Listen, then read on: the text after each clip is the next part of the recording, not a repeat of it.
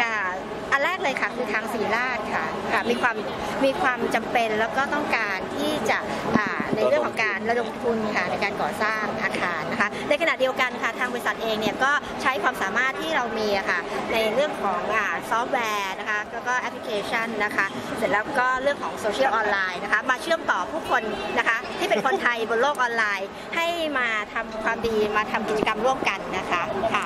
เปิดตัวไปแล้วเป็นอย่างบางส่วนแล้วเป็นยังไงบ้างครับกระแสตอบรับจากที่หลายๆคนได้เห็นผลการโอ้ต้องบอกว่าคนไทยอะค่ะจริงๆแล้วต้องบอกว่าคนไทยน้ำใจงามนะคะ เราไม่ได้มองกันที่ว่าตัวเลขใหญ่หรือว่ามูลค่าที่เยอะนะคะ แต่เรามองว่าทุกบาทอะค่ะแล้วก็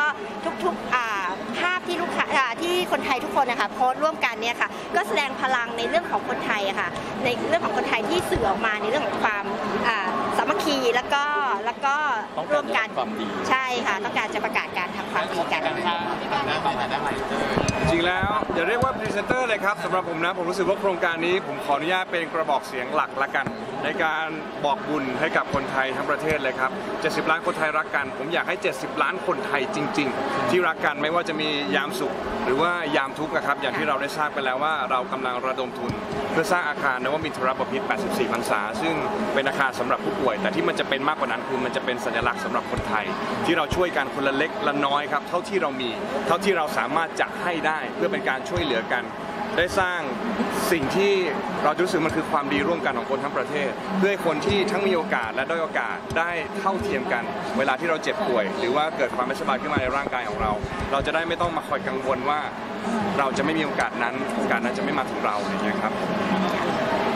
ให้ฝากโครงการนี้หน่อย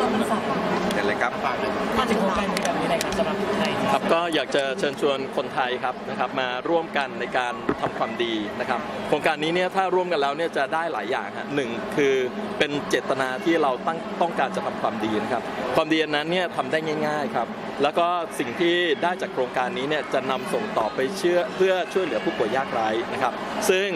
ท้ายที่สุดแล้วเนี่ยคนที่จะได้รับประโยชน์จากโครงการนี้ฮะจะมีเป็นนับล้านนับแสนคนนะครับ ก็อยากให้คนไทยมาร่วมกันสามัคคีครับทำความดีแล้วท้ายที่สุดฮะเพื่อเป็นการลำลึกถึงล้นเก้ารัชกาลที่ 9 ที่เป็นที่รักของพวกเราทุกคนครับ